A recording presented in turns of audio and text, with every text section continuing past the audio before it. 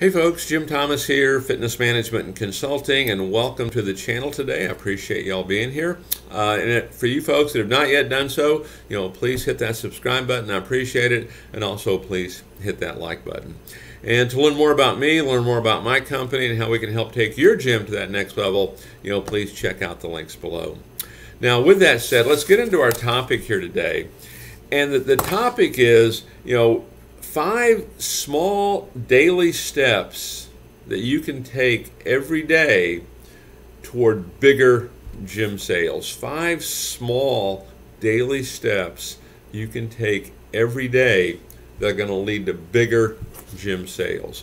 So let's get into these as we're going through this you know take some notes watch this video you know more than once okay and use these as a fundamental uh, foundation of how you can really grow your sales if you're a salesperson or how you can grow your sales if you're a sales manager or, or whatever you might be this really is the foundation for it and so number one learn more about your customer Okay. Now, hopefully, we're using you know needs analysis and things like this, and you can search this here on the channel to learn more about you know how to use a needs analysis.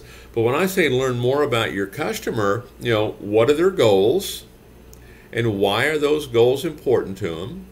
That's first and foremost. You know what are their goals, and why are those goals important? Because ultimately, what you're trying to do here is solve that problem for them. You're trying to provide a solution. Okay, don't just go on autopilot and show them the entire facility. Okay, and talk, talk, talk, tell, tell, tell. Learn more about your customer, what they want to do, why it's important to them, what have they done before, you know, why do they feel it has not worked, why do they feel it did work, you know, what were they doing, you know, the, when they were in their ideal condition, what were they doing then? Learn more about your customer. The more you can learn about them, the more you can help them make that decision, you know, to get the results that they're looking for. So learn more about your customer. Number two, set aside time for prospecting. You know, too often we simply just wait for things to happen. We wait for the phone to ring. We wait for people to come in. We hope our members are going to bring folks in. Set a time for prospecting, okay? Because one of the things you have to do, no matter who you are, you have to keep your pipeline full. Unless you have people to talk to on a regular basis, you know, you're going to be a victim of the ebb and flow of just people showing up. Okay, make sure we're prospecting. Make sure you have a, a strategy for lead generation and some easy things. I mean, referrals. Okay, that's a great one, right?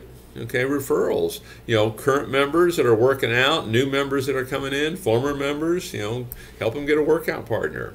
Okay, look at referrals. Former members, I mean, in many cases, the former member is the number two source of new enrollments behind, you know, referrals. You know, those are great pipeline potentials to really be prospecting. But make sure when we're prospecting, make sure we're nurturing. In other words, we're trying to maintain or even create interest and desire. It's not simply, hey, come in and join. Okay, so number two on our list, set aside time for prospecting. Number three, you know, build up your current network build up your current network. Okay, and what I like to see us do is we want this group of ambassadors, folks that know who we are, that are promoting us all the time. Okay, you know, how can you build your current network? I'll give you a couple examples. A, you can join a networking event. You know, go to meetup.com, join some local networking events, attend those things. Okay, it's a great way to build ambassadors in this. But also, when you talk about building your current network, you know, try something like this. And this also gets back to, you know, kind of setting aside time for prospecting. Maybe have a night in your facility for all your local real estate agents to come in. Okay, and let them know what you're doing. Okay, what's going on here at the gym, and how hey, if they sell a new home, maybe you'll make available a free 30-day membership for you know the the new um, new buyers of that home. Okay, everybody gets a free 30 day membership or two weeks or as much as you can give. And so now all of a sudden you're, you're, you're expanding your network because all the folks that are moving into the area, you know, real estate agents are talking about you. Oh, yeah, here's the place to work out. Here's the place where you want to go. And then if they sell the home, they can give away a free one month membership. Okay, it's a great way to expand your network. You can do the same thing with commercial brokers. You can do the same thing with apartment leasing managers. These things work well. So work to build up your current network. More people that are ambassadors, you know, talking about you. Number four, create a sales funnel. And what I mean by this is you want to create a process again you can you can do a deeper dive on this you know do some research here do, do a search on the channel you know for the sales process and things like that. But what is your process? When that customer comes in what is your sales process to navigate them into becoming a customer? What does your second sale look like? What does your third sale look like what is your process for telephone inquiries? What is your process for scheduling an appointment? What does your follow-up process look like? All these are funnels in a sense. Okay, you know, so create these funnels, create these processes. Again, you can find these here on the channel. Just you know, go into the search bar and type it in. And so you want to make sure you have this. And now you're maximizing your opportunity at every case. And then finally, rank your sales leads. Rank your sales leads. Here's what I mean by this. Okay, if you're looking and you're gonna, you're making phone calls, and hopefully we're doing this right. We're prospecting. Okay, every day. Okay, we're making our calls. You're going to have some that are maybe at 20 percent. You know, they're at the low end of interest, and you're going to have some that are 90 percent. You're at the higher end of interest.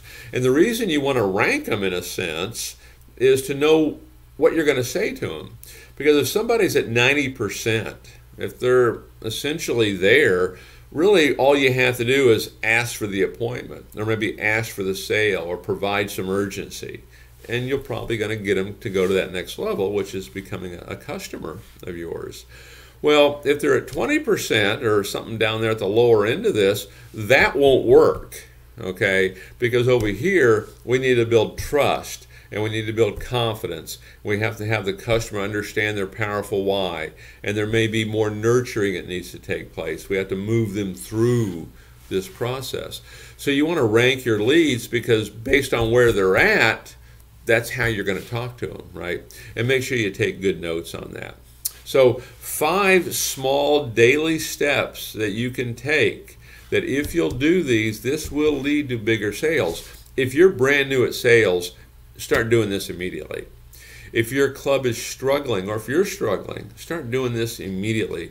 This will start to have an immediate impact, you know, for what you're trying to accomplish. All right.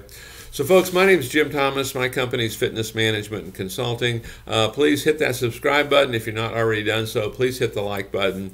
And again, to learn more about me and my company and how we can help take your business that next level, you know, check out those links below. And we look forward to seeing you all in that next video.